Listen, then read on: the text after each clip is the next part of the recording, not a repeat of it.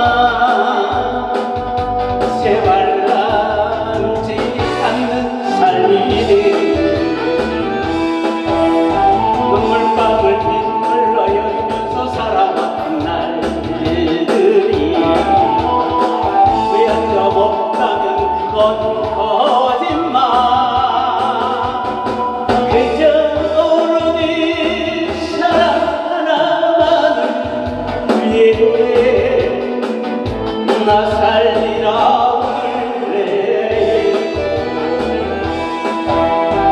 물방울 빗물로 여기면서 살아왔던 날들이